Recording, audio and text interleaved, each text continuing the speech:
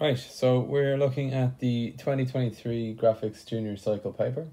Um, we're going to go through all these questions step by step, page by page.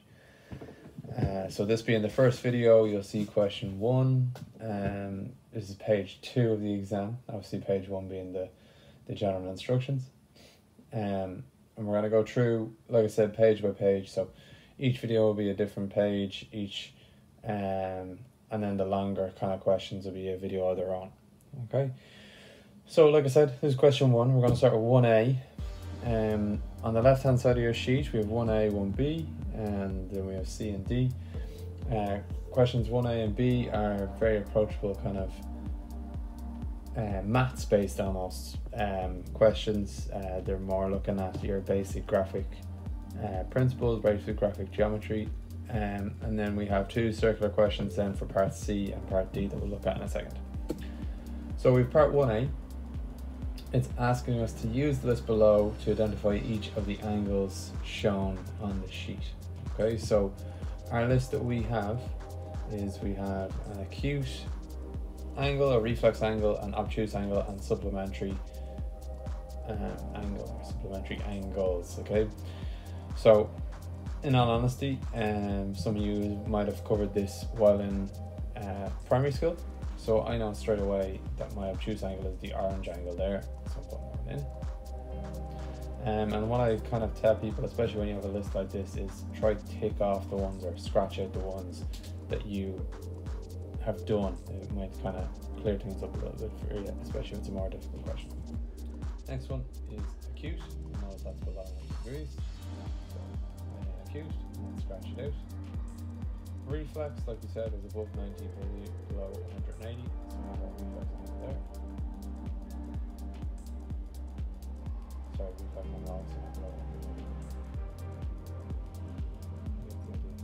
Above 90. And then our supplementary angles are two angles that are of supplementary, they're supplementing one another. So the blue and the green one, we have an obtuse angle so the next one, next question is asking us to name the polygon shown below. Okay, so naming the polygon. I'm just counting these out. Obviously six sides, uh, so that has to be a hexagon. Okay, and don't be afraid to do that in the exam. Definitely count it out if needs to be. Right. Next thing, it's asked us to use your drawing equipment to measure the angle A, measure the length L, and measure the radius R in the given polygon, a given globe. So a habit that I get in, or that I kind of get my students to get into is extending the angles out. It's just a little bit easier to measure the um, angles if it is extended out like so. So just draw your line straight through. Make sure that your angle is kind of maintained. You're not, you know, you're, you're, you're using a straight edge, and then you're lining the center with the zero on the right hand side of my protractor And then going all the way around to line up my pencil line. It's difficult to see actually when I'm just looking um, at that. But I'm just measuring around. Okay, so that's me counting out the end of there. That is 140 degrees. So I'm just writing that in for my angle um, So the next one's my length L. All I'm doing is I'm just grabbing my set square and giving that guy a measure out. Okay, so I have it docked as 39 millimeters. So you'll just see me counting that out there. It's 10, 20, 30, 35, and then four little dashes after. That's 39 millimeters. So I throw my pen on the ground, and then I pick it up and I write in 39 millimeters. And, as we did with the degrees, you know, make sure you're actually using your symbol the same way as you're writing in millimeters with your, your, your, your, you're adding your units basically, same as you do in so the last one is measuring our radius, and all I'm going to do is I'm going to take my t-square, draw a line through my center line. Now, some of you might realize actually we've already kind of drawn in a radius or a line from the center point to our circumference of our circle by doing our angle. In fact, we drew, drew two of them. But I'm just going to highlight this a little bit better because we'll get a better measurement or more accurate measurement with our radius if we draw a line straight through the center. So I'm going to draw a line straight through the center. Then I'm going to take my set square again and 26 millimeters. Okay, and that's question 1A and 1B done. Okay, so we're going to move on to question 1c.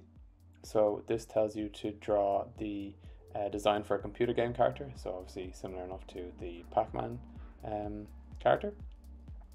Um, and it tells you that it's based on circles. So automatically that should tell us that it is a, uh, a question that revolves around chord bisectors. Okay, so we've um, encountered these before. This is using your chord bisector principle that states that the bisector of a chord travels through the center of a circle. So if you use two of them, you're going to go ahead and find the center of the circle. So I'm going to use this green pen here to draw my first chord. And then I'm going to go ahead and bisect it. So my I'm going to split this up green and orange just so it gets a, a little bit clearer. Um, but I'm going to go ahead and bisect this green line and draw in my bisector.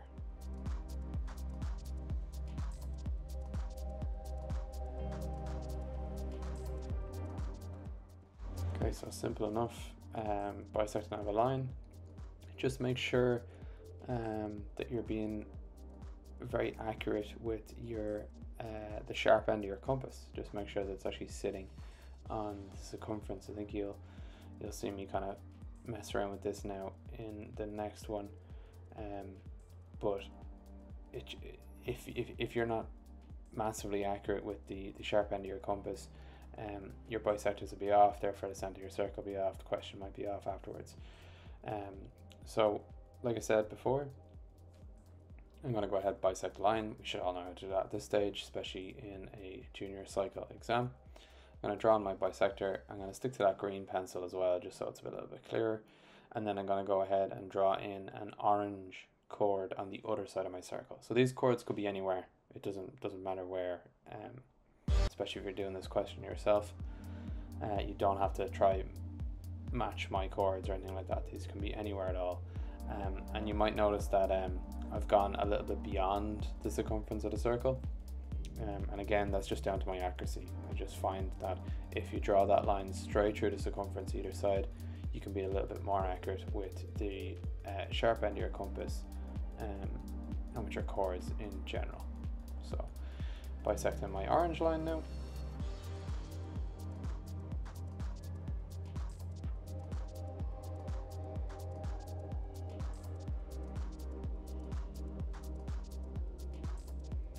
Then I'm going to go ahead and draw in my orange bisector. So where that crosses the green bisector will give us the center of the circle. And you should be able to kind of see straight away, or you should be able to, to see um, even just by eyeballing it, that where those two chords meet, it, it like to me it looks like the center of the circle. Um, so we're onto something there, if that's the case. Um, forgive me, my orange bisector is a little bit faint. Um, so I'm sorry that you can't see that, but um, the rest of the question is going to revolve around the center anyway, so I'll go ahead and draw in those, uh, the, the horizontal and the vertical uh, diameters now.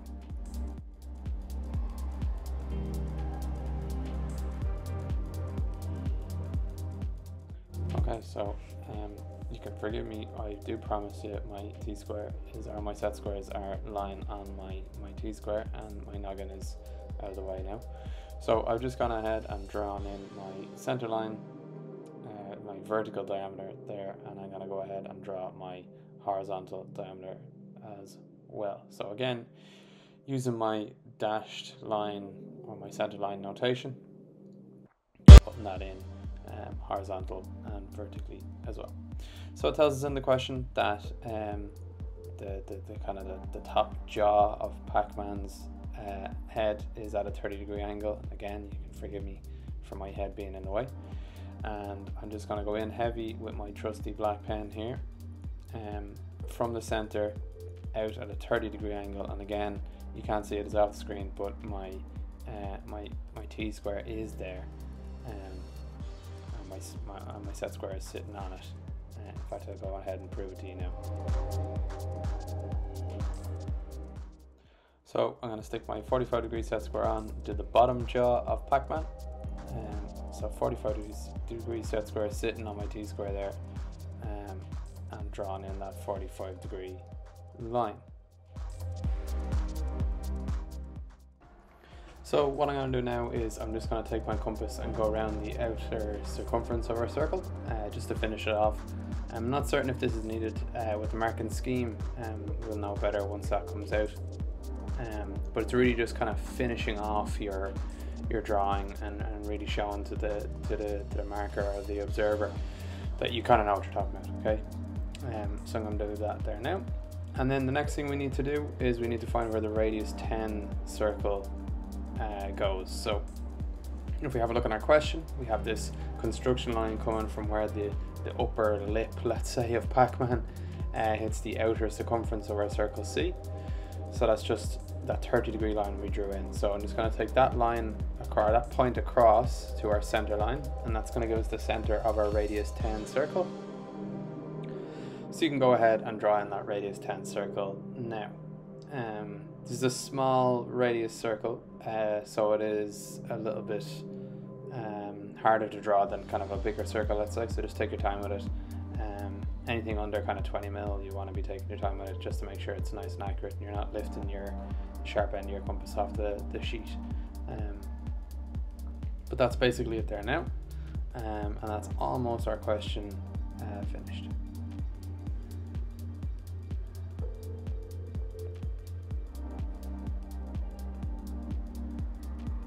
Okay, so that's our question uh, 1C finished now, um, and then we'll pop back in um, with question 1D.